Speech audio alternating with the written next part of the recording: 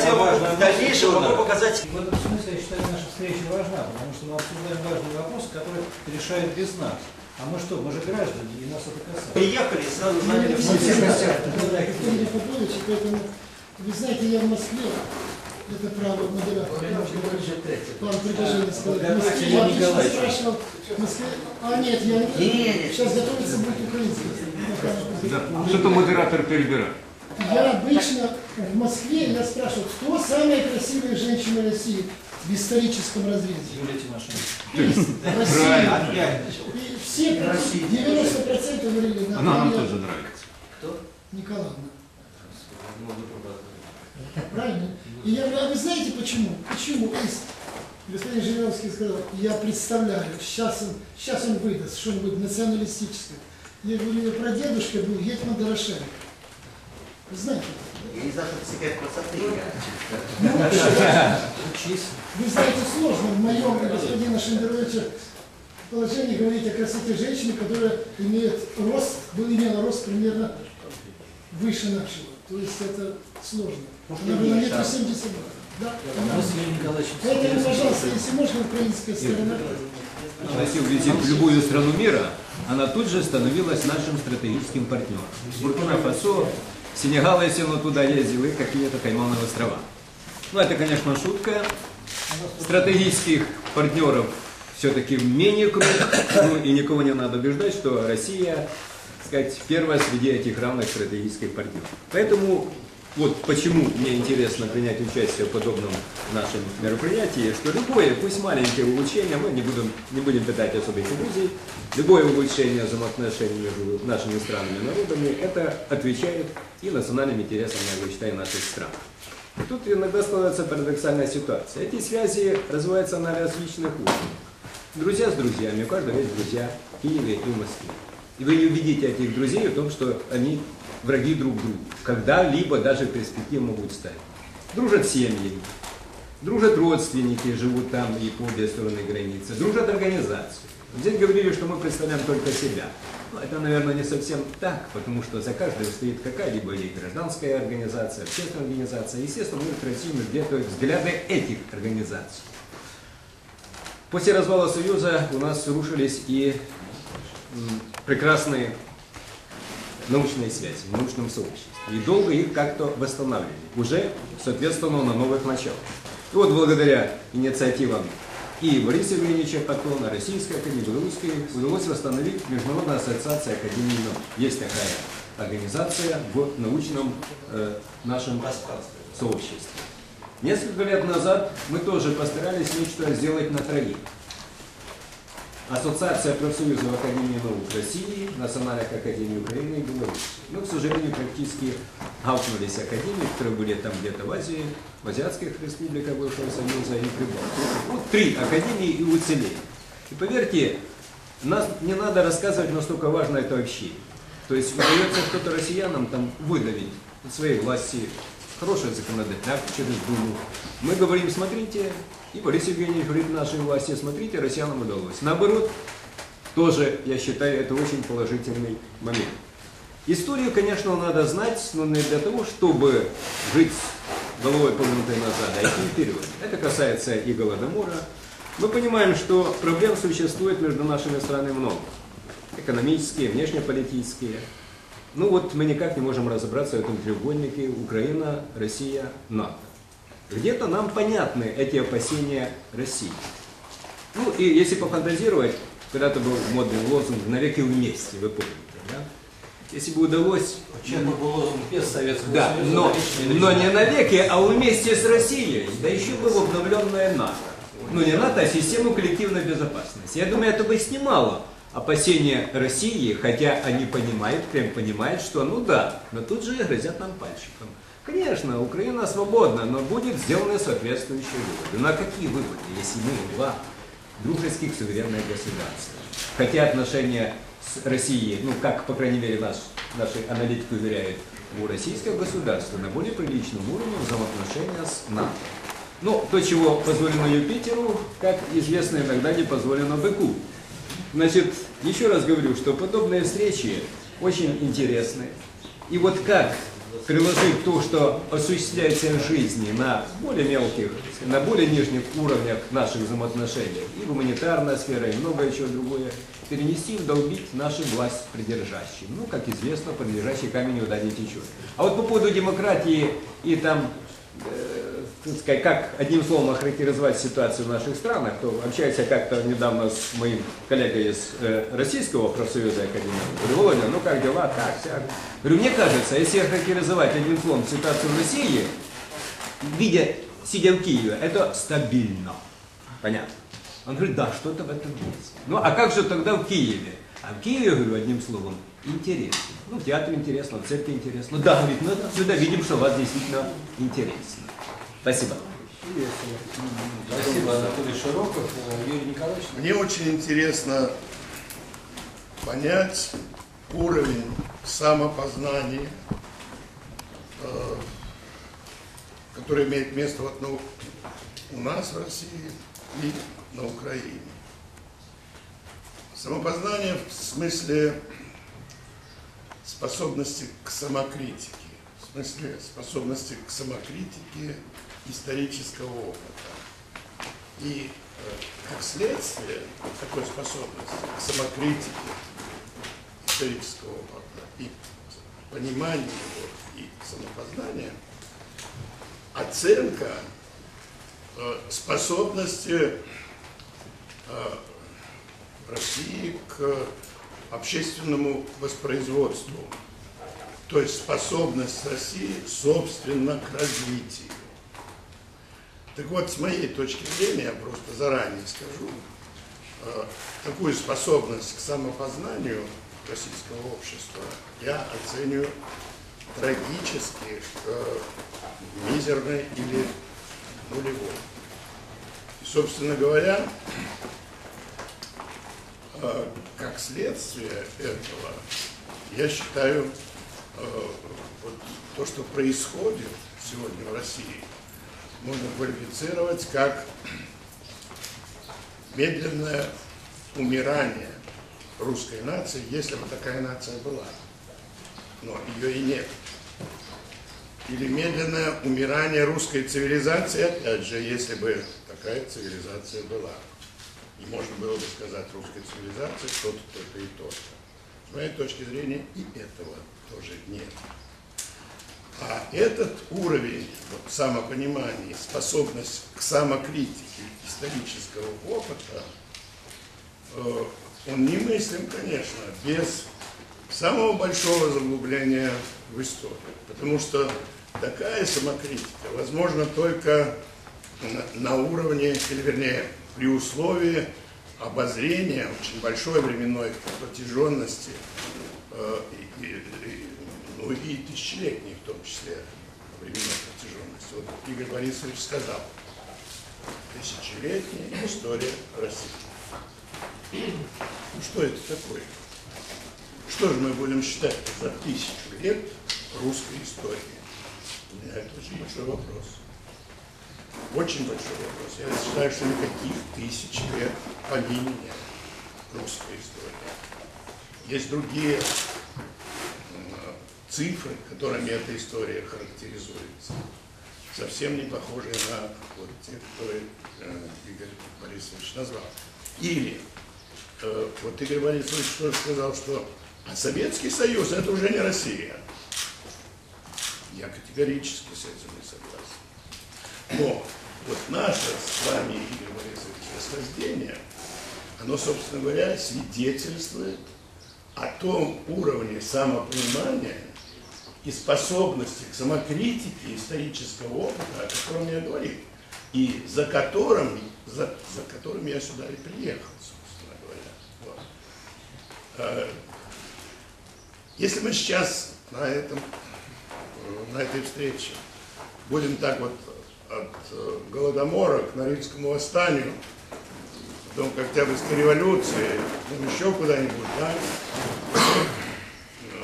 ну, мы в конце концов или в волосы друг другу цепимся, да, или разбежимся в разные стороны. У нас вряд ли что получится, потому что э, оценка э, происходящего только на событийном уровне она никакого заглубления в самопонимание, в самопознание не, не даст.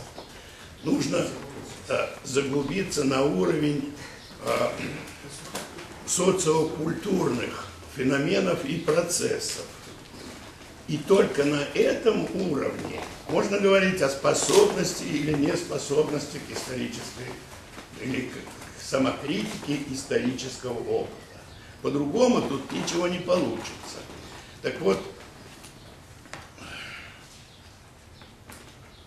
если, если на основе, как я считаю, вот такой критики исторического опыта у меня складывается такое убеждение, что русская нация, если бы она была, или цивилизация, если бы она была, они умирают, они тихо угасают вот в настоящее время.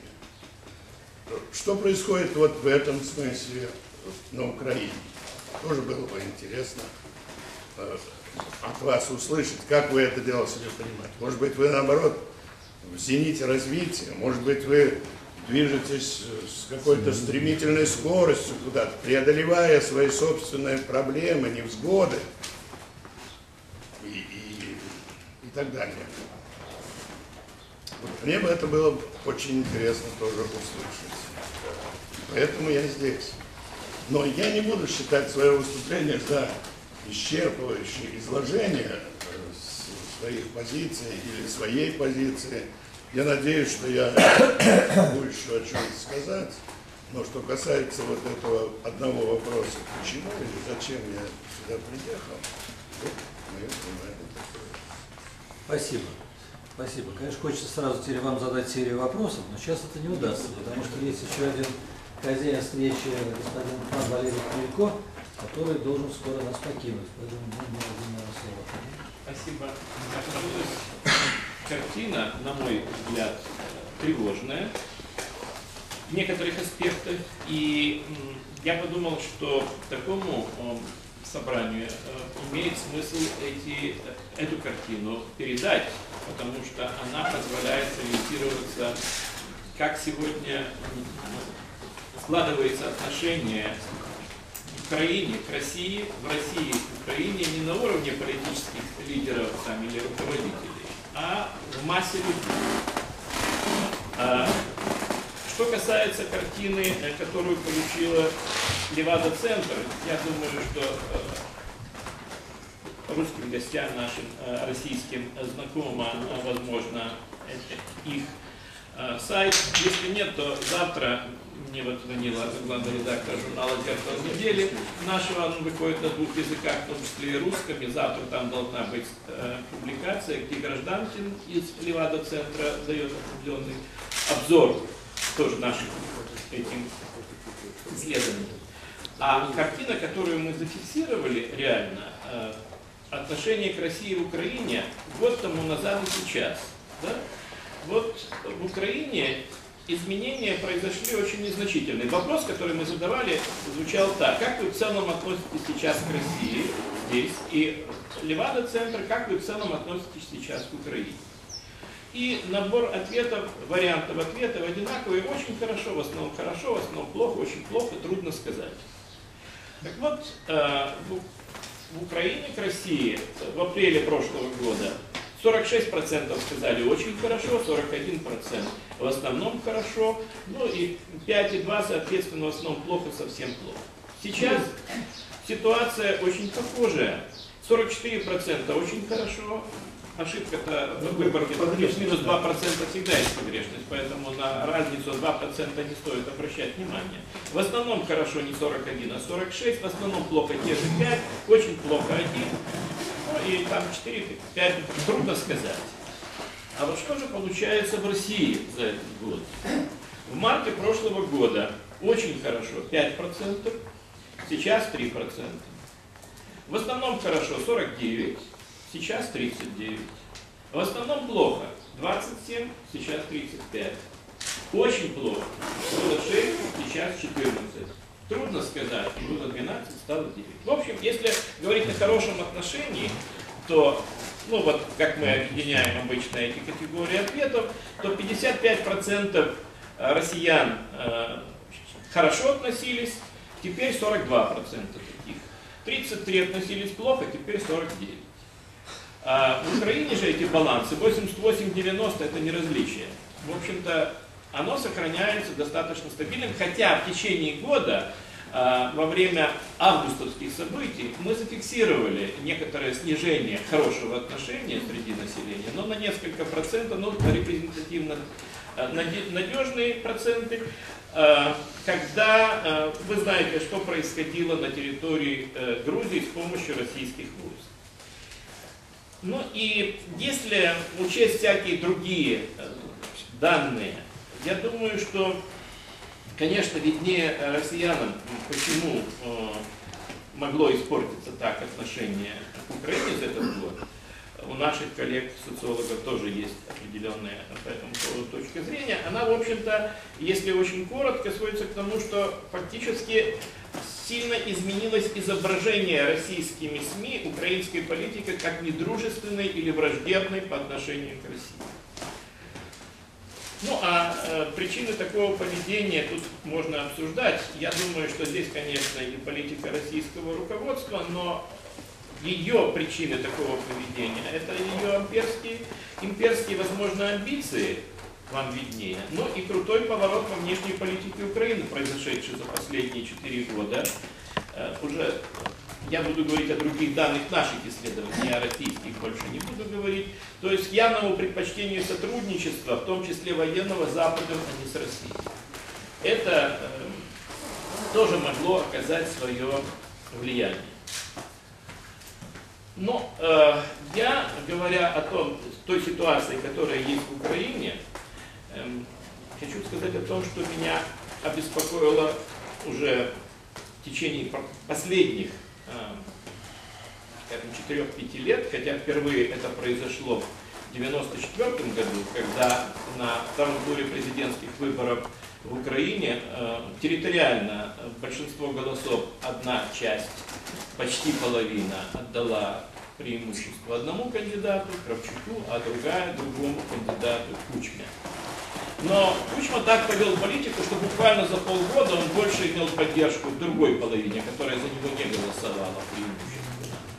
А, и потому что то, что он э, обещал такое очень чувствительное национальное, по отношению к национальным чувствам, а, он, э, ну, можно сказать, сектушировал и э, не выдвигал больше на первый план. Но это давняя история, относительно, конечно, давняя. А сейчас, если говорить об отношении к Украине, то тех двух частях Украины, где на последних трех выборах, я имею в виду президентские 2004 года и парламентские 6 и 7 года, а, снова а, большинство голосов получили разные политические силы, ну вот условно говоря, их у нас называют оранжевые, по-русски, и бело-синие, или бело-голубые, по-разному бывает, то а, они, эти две части, отличаются и своим отношением к России. А, если говорить о северо-западной части Украины, вот здесь она преимущественно желто-оранжевая, да? А это 52% населения страны, то а, здесь очень хорошо относятся 29%, а в этой части 60%. В основном хорошо 56% здесь и 36% здесь. В целом различия несущественные 10%, 85-95%. И можно было бы не придавать этому значения, если бы за этим не стояли некоторые качественно различные оценки, желательно внешнеполитических курсов нашего руководства. Потому что что такое очень хорошо и в основном хорошо, оно так знаете, на словах, оно существенного значения не имеет. Но когда мы, скажем, задаем вопрос, как бы вы проголосовали, если бы следующее воскресенье проходил референдум относительно присоединения Украины к Союзу России и Белоруссии, то вот северо-западная часть, м, 35% готовы проголосовать за, 41 против. Юго-восточная 80% за, 9% против. Вот что означает это очень хорошо и в основном хорошо. И э, это, конечно, если взять четыре макрорегиона, как мы говорим, то есть каждый из них еще имеет свои подразделения. И чем дальше на восток и на запад, тем больше это различие. А, Но я не буду говорить об этих деталях, потому что, ну, кого это заинтересует, можно тоже посмотреть на сайтах нашего института. Эти исследования проводит Киевский международный институт социологии, который работает в Национальном университете Киево-Могилянская академия. И э, на его сайте можно это увидеть. Так вот, э, я просто хочу сказать, что когда мы ставим аналогичный вопрос о том, как бы вы проголосовали на референдуме о вступлении Украины в Евросоюз, ситуация меняется на противоположную в обеих частях. Северо-западной части 54% за, 21 против. Юго-восточной 30 за, 46 против. Это по населению, то есть реально участвуют в голосовании при этом 75%, поэтому и там, и там больше половины вы- высказывается. Таким образом. Еще резче вопрос, э, дифференцируется позиция, когда речь идет о э, вступлении в НАТО, но здесь ситуация более э, сложная, потому что в обеих частях вообще-то голосуют против НАТО больше, чем за. В северо-западной 44 против, 32 за. В юго-восточной 81 против, 8,5 за. А как, пока, э, как показывают э, э, наши исследования, вот такая дифференциация, она связана с довольно, ну, на мой взгляд, глубокими социальными основаниями для предпочтения различных внешнеполитических курсов. То есть отношение к России, оно связано с большой неоднородностью а, национального состава разных частей Украины, который в официальной статистике э, очень мало отображается, потому что э, когда проходит опрос, э, каждый человек может ответить о своей национальности, вопрос есть, только однозначно. Или украинец, или русский, или еще кто-то. Только или. С 1994 года, когда обнаружилось э, вот такое различие, наш институт поставил такую проблему, здесь, по-моему, даже есть автор, да, Роман Линчевский, вот, который предложил ввести вопрос, э, когда человек может выбрать. Ну, если он сказал или русский, или украинец, а часть говорила сразу, я и русский, и украинец, я не могу выбрать. Э, Задать им дополнительный вопрос, который бы, только вы украинец, или только русский, или вы чисто больше тот, но больше тот и так далее, то оказалось, что почти четверть населения Украины это люди, которые имеют двойную идентичность. Э, Без. Вопрос э, полностью значит, формулируется таким образом. Теперь я хочу вам задать вопрос, который поможет вам уточнить, поможет нам уточнить вашу национальную принадлежность. Скажите, пожалуйста, э, какой из этих вариантов наиболее соответствует вашему мнению?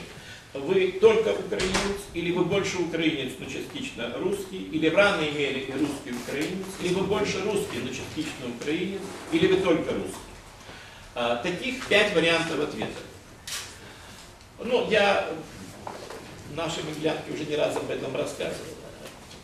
Так вот, э, двойная этническая самоидентификация, русско-украинские биетноры, а это в большинстве своем дети смешанных семей.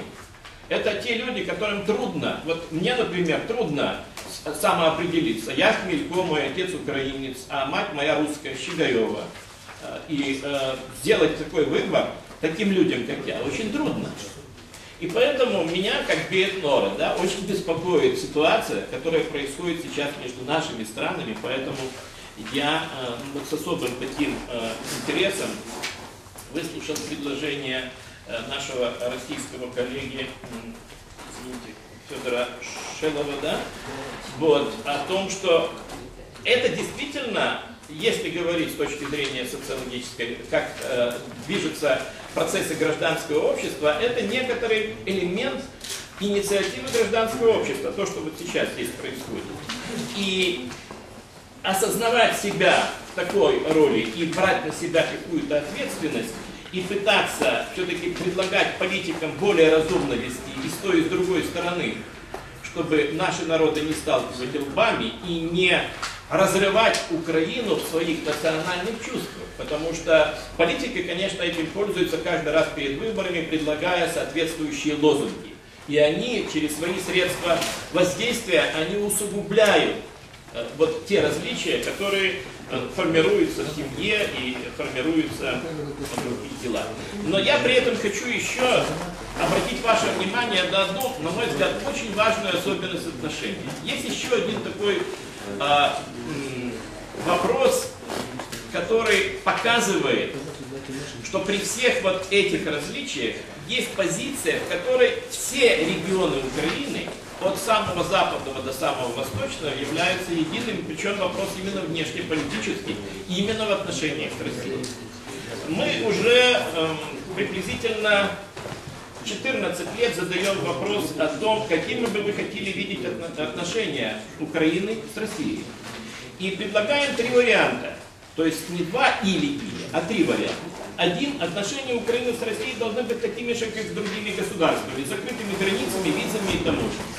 Второй, Украина и Россия должны быть независимыми, но дружественными государствами, с открытыми границами, без виз и таможен. И третий, Украина и Россия должны объединиться в одно государство. Так вот, э, вот эти две половины Украины э, действительно отличаются по ответу на первый и третий вопрос. Э, Украина и Россия должна объединиться в за- в западно-центральной части 10%, э, юго-восточной 30%. Э, Должны быть закрытыми друг от друга государствами, независимыми, но закрытыми. 19 на западе, 4,5 на востоке. А вот они должны быть независимыми, я подчеркиваю, но дружественными государствами. 68 на западе и 64 на востоке.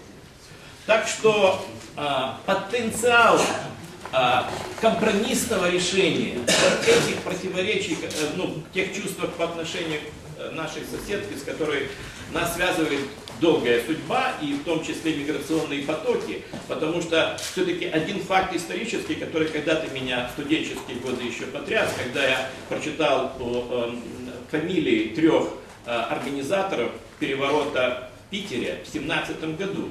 Военно-революционный комитет. Кто возглавлял? Антонов Овсиенко, Дыбенко и Крыленко. Три человека, один из них э, офицер э, э, Овсиенко, шахматист и математик, один моряк и один солдат. Ой, давайте так. А с другой стороны, Поэтому, поэтому теперь, да, можно мнение, что это они вам сделали переворот.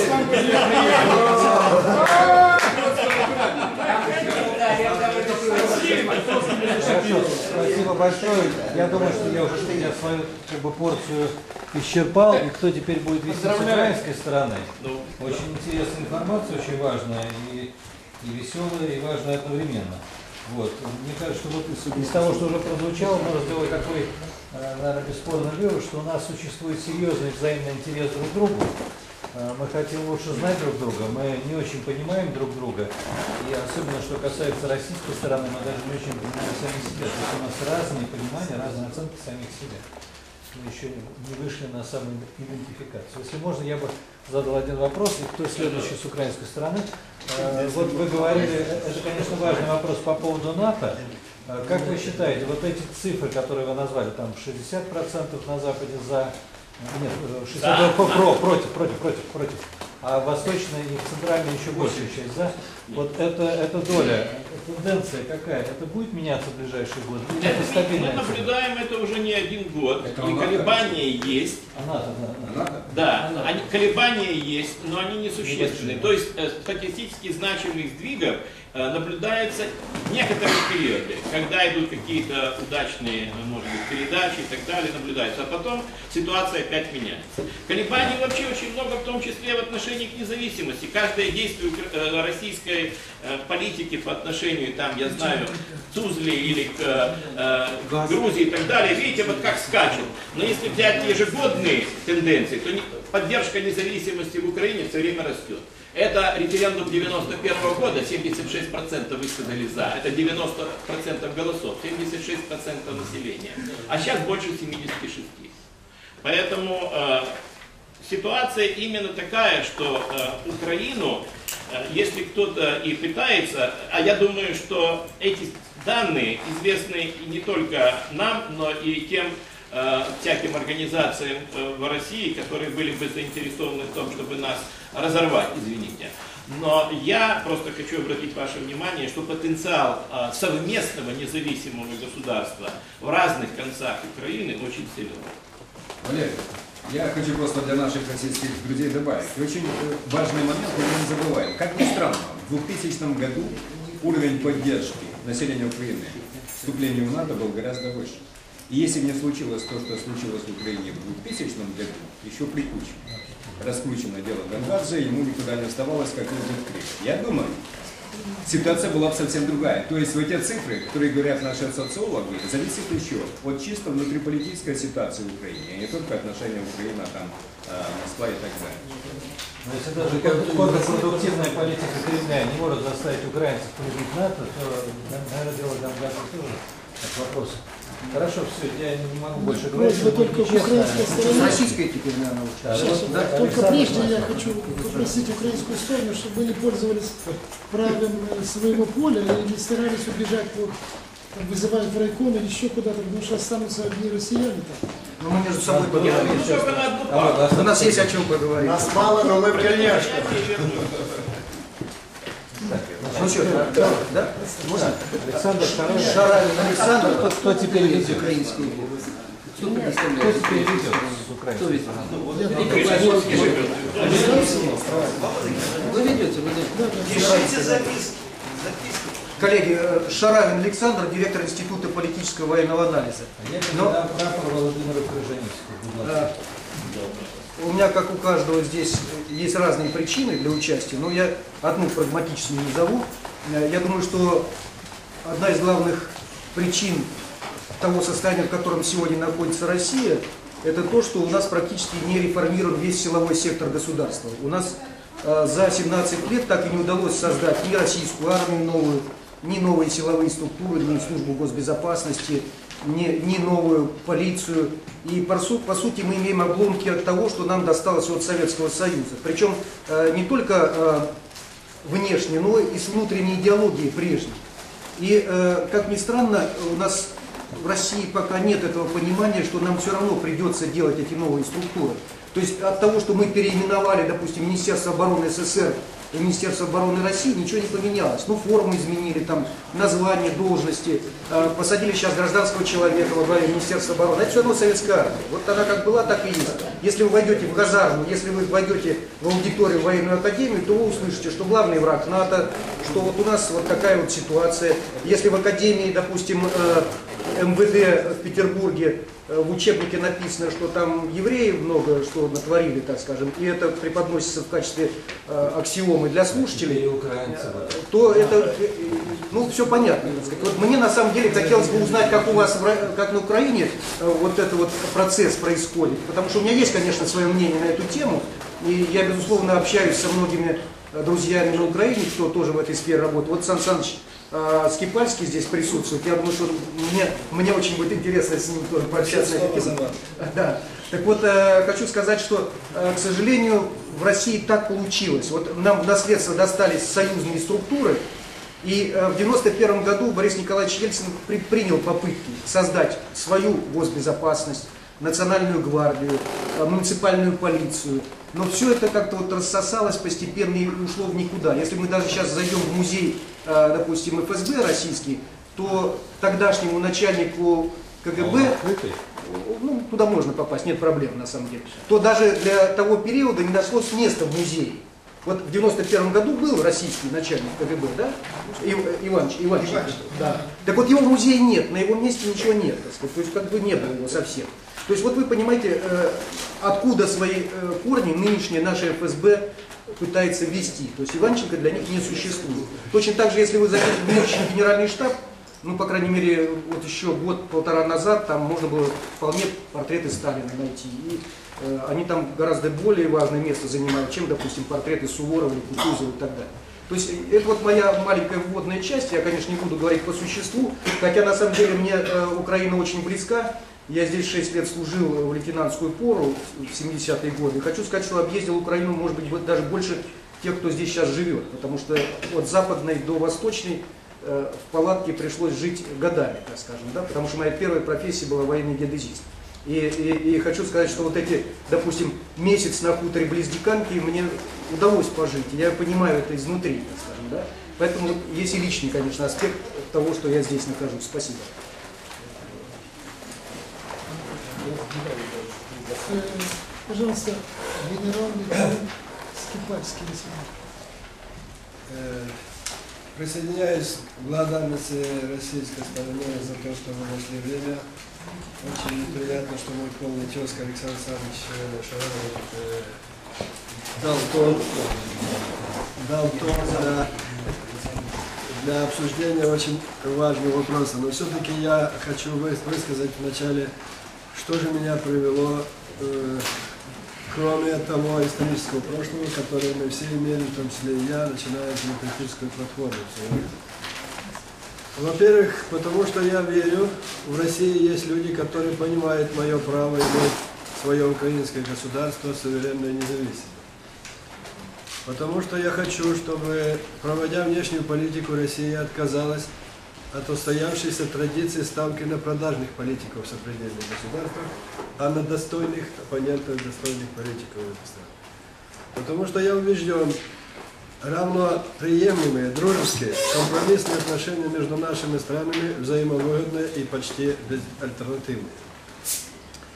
Следующее. Как аналитик должен подчеркнуть, понять, что происходит определить курс наших отношений возможно только с позиции исторических закономерностей и, если хотите, природного, естественного пути развития общества.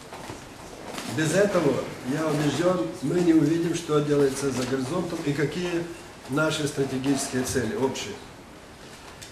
Имея колоссальные возможности повышения благосостояния российского народа в жизни, мне кажется, извините, что я даю оценку в России, это не удается. Поэтому власть ищет образ врага. Это классическое правило. В Украине это маскируется давлением извне. Тоже идет маскировка. Так вот, возникает вопрос. К какому союзу присоединяться? Бедный к бедному? Что будет? Еще бедность. Если бы убежден, если бы российская власть, имея возможности и естественных ископаемых и так далее, подняла жизненный уровень Тамбовской губернии, Вятской губернии и в любой области простого народа, отношение бы простых украинцев было бы намного другим, чем сегодня. Я э, в Украине, мне очень приятно, что уважаемый Юрий Николаевич затронул очень глубокую мысль развития как российской нации, так и украинской нации. Я думаю, что в этом э, фундамент нашей, нашего разговора, фундамент существования стран в будущем. К сожалению, в Украине катастрофически сокращается население. Более 5 миллионов, это самая минимальная цифра, украинцев выехало за рубеж, в том числе, как принято говорить, дальний зарубеж. Уехали, как вы понимаете, не худшие. Уехали те, которые могут работать, которые имеют определенный интеллектуальный уровень подготовки и так далее. Самое опасное, что отдельные политики в Украине, если можно их назвать украинскими политиками, видят в этом позитив. Они дозволяют себе или позволяют себе высказать мнение, что пусть эти хохлы уезжают к своим бандеровцам в Канаду, в Испанию, куда угодно, а мы тут построим новую политическую нацию. Возникает вопрос, какую? Пример приводит Соединенные Штаты. Построили съехавшие со всего мира. Но там возникает закономерный вопрос, а куда делать коренное население? В резервации, как вам известно. У нас очень опасная тенденция вымирания села. Исчезает, сокращается среда обитания путем земельных озер и комбинаций.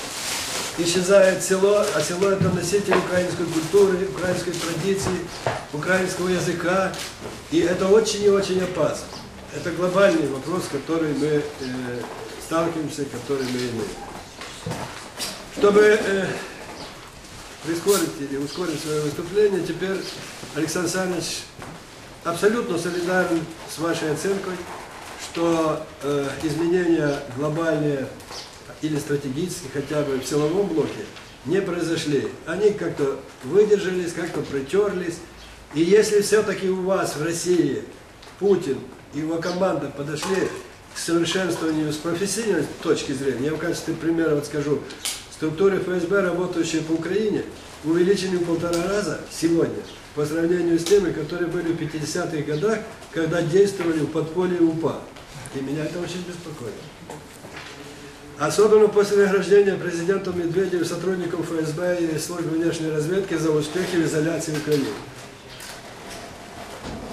Э, что у нас? У нас, у нас еще хуже. Это ваша формулировка или Медведева? Нет, это моя. А, нет, ну просто... Нет, это просто- Просто Шендерович подумал, что вы видели указ. Нет, журналистский интерес. Я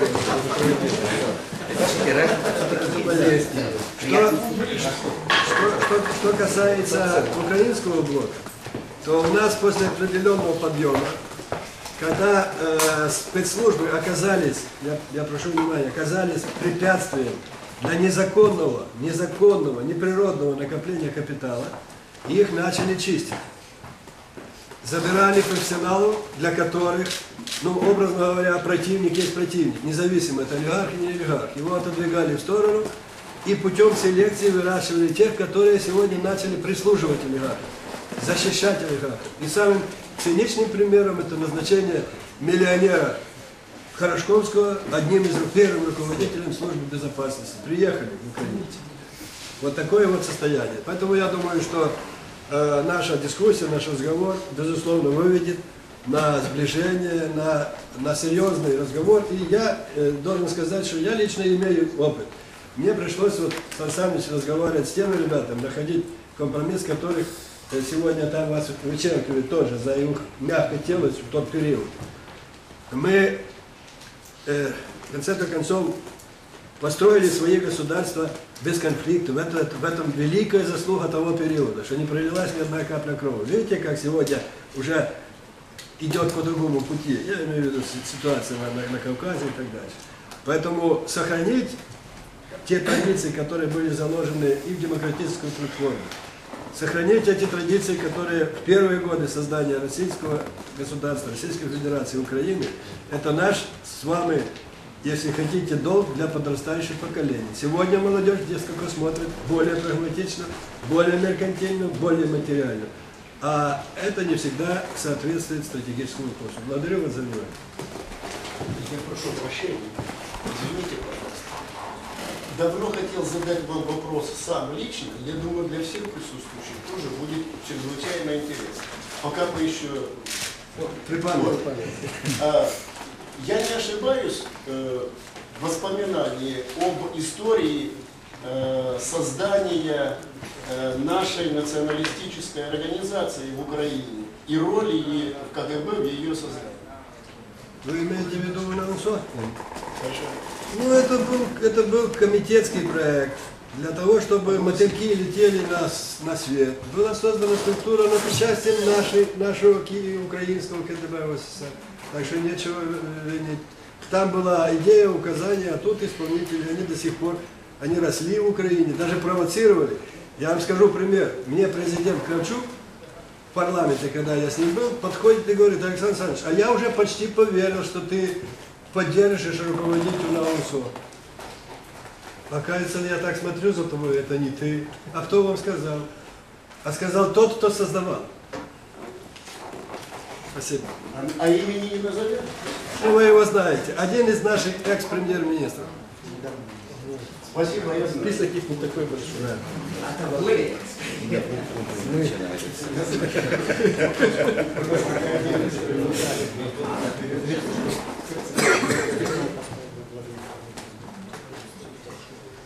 О, еще забыл одну идею. Упустил бумагу. Вы задумались после Да, забыл, я дополню. Знаете, в чем я вижу э, геополитическую перспективу? Определенная история дает определенный шанс на какой-то определенный период. Я думаю, что вот идея славянства, только не э, усеченного славянства там, в отношении Украины и России, а славянство всего вот как части Восточной Европы сегодня должна привлекать внимание. Нам, ну, славянам, м, убежден определен- определенный период рассвета, если мы этим используемся. знаете на чем? У нас все-таки очень сильные э, традиции славянской культуры, которые еще не, не разбавлены другими э, течениями. Александр, одна маленькая ремарка, просто я прошу прощения за коллег, да? А, Но в развитии того, о чем вы сказали, что слава Богу не пролилась кровь. Я вам даже могу рассказать, как она не пролилась. Потому что я был этим свидетелем и участником в какой-то степени, хотя решение принималось окончательно фина- финальное и правильное решение было принято Ельцином вовремя, и а, он все ответственность взял на себя. Же картинка такая. В кабинете Бориса Николаевича Борис Николаевич, Грачев и ваш покровительство.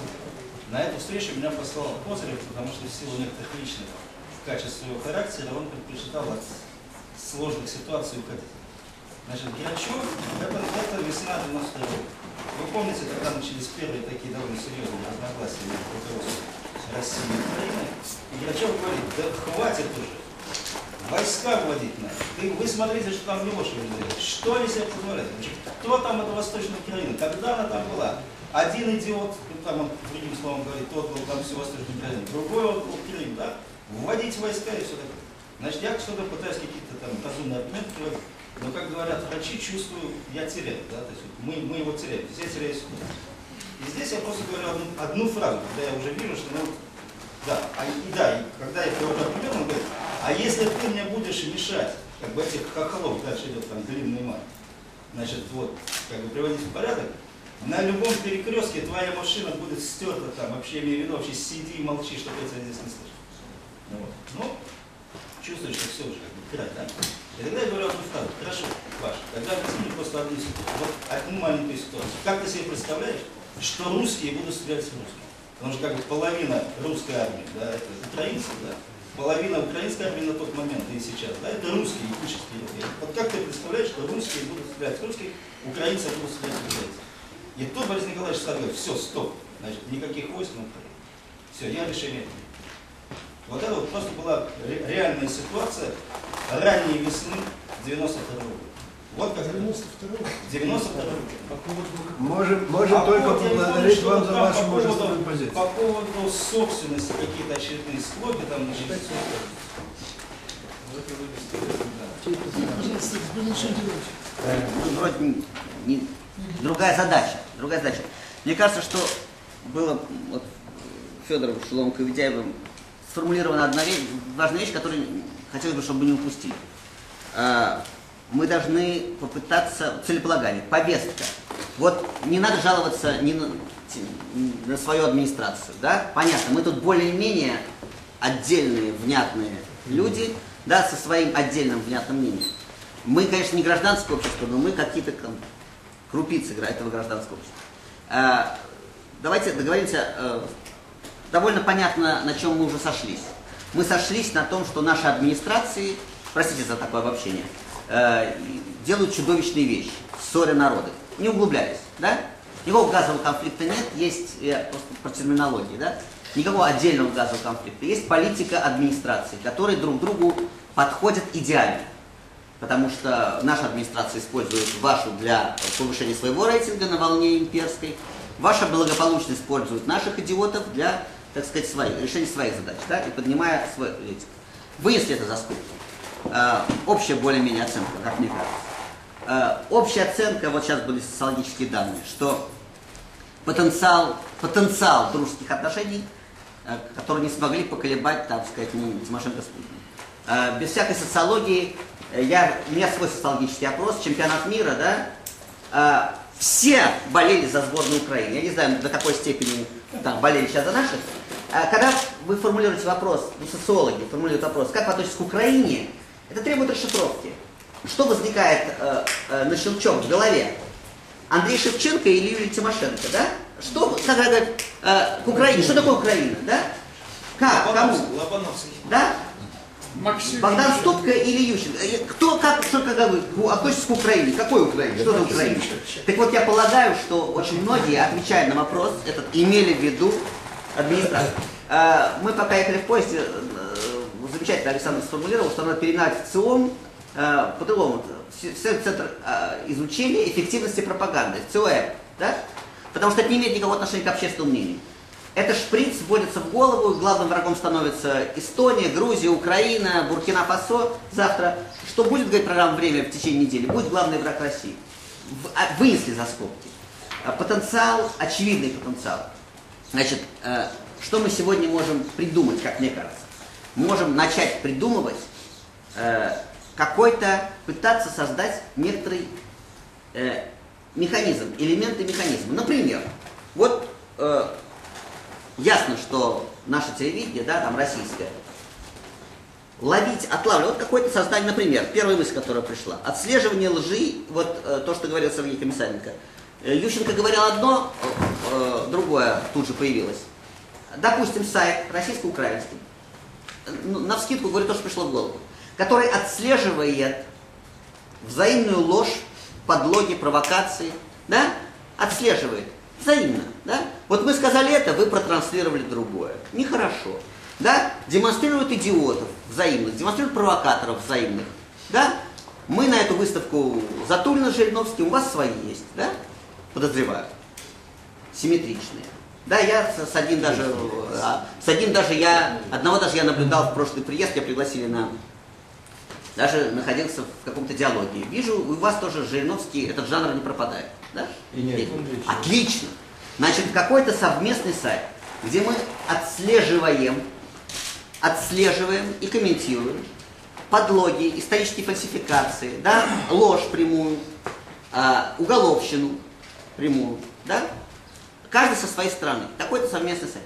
То есть э, вокруг, вокруг каких-то таких частых вещей сайт или, ну сайт самое, самое понятное и, э, так сказать, на телевидении мы не потянем, да, Э, вот, но э, какая э, вокруг чего-то кристаллизовываться должно, когда мы говорим гражданское общество, вот таким образом, допустим, да, социология, вот я сейчас приехал, узнал ее, я, например, не знал об этой диспропорции, она очевидна, дело в том, что это, дело в том, что у, у нас односторонняя пропаганда, у вас тоже пропаганда, но с разных сторон. Поэтому суммарный вектор, понятно, более-менее усредненный. Да?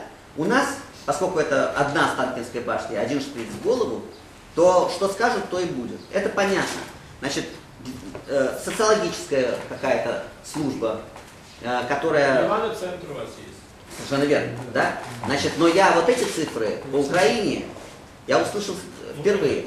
Э, Предположить, что я случайно на них наткнусь, шарю, шарю по интернету. Какое-то место, где будет кристаллизовываться, вот Россия, Украина, гражданский проект какой-то, да? Где будет кристаллизовываться объективная социологическая информация.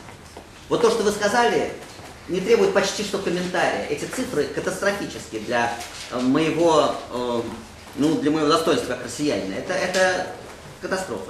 Значит, эти цифры должны быть в широком доступе. Комментарии к вранью в широком доступе. Объективная информация в широком доступе. А, тогда мы, то есть я хочу предложить нам в оставшиеся там полтора суток или сутки, да, а, чтобы мы не поговорили каждый о, о чем наболело, да, и разошлись, довольные собой, по большей части, чем друг другу. А, а, а чтобы мы попытались создать какой-то вот, ну, что-то придумать, какой-то маленький механизм, который потом можно усовершенствовать. Тогда это будет результат. Потому что если мы друг другу пожалуемся на нашу администрацию, э, посетуем э, на собственную историю и разойдемся, ну, Это жаловаться надо деньги, на самом деле. Да, кстати, я хочу сказать, давайте вынем, вынесем администрацию за скобки. Администрация, если появляется сильное гражданское течение, администрация никуда не денется. Да? Она вынуждена, они не идиоты. У них свои социологические, да, они за- замеряют. Если, э, если такого рода центральное, вот компромиссное, то, что говорил Валерий, я не знаю ваше отчество, про... Валерий вот эта компромиссная, серединная, устойчивая часть, если мы, присутствующие здесь, сходимся на том, что независимое, дружественное, да, определение соседнего государства, независимое, дружественное, все, точка. Тут-то спора нет. Ну, по крайней мере, среди присутствующих. Без Больных. границ, границ. Да, да. Нет, границы пускай, но между, Ш- Без закрытых. между Швейцарией и Францией тоже есть граница, да, так сказать. Ну, ну, как-то как проезжаешь, ее не, не замечаешь. да? Швейцарии и Лихтенштейном какая граница? Деталь, вот деталь, которая... Вот с чего начать? Смотрите. Вот мы сегодня прорывались к вам с боями, да? Через открытую границу. Через открытую границу. Мы прорвались с боями. ночью э, на трясущем поезде пытаясь заполнить анкетку, да? Дважды. Раз. Прибудьте вы будьте, значит, причем там два языка. Украинский и английский. И поезд трясется, и буквы мелкие. Значит, во мне просыпается сильное имперское чувство в этот момент. Вы понимаете, да? Как во всяком нормальном человеке. Я думаю, много ли украинцев ездит поездом Москва-Киев? Да, хорошо. Ну, не больше наших. Я вот сегодня вагоне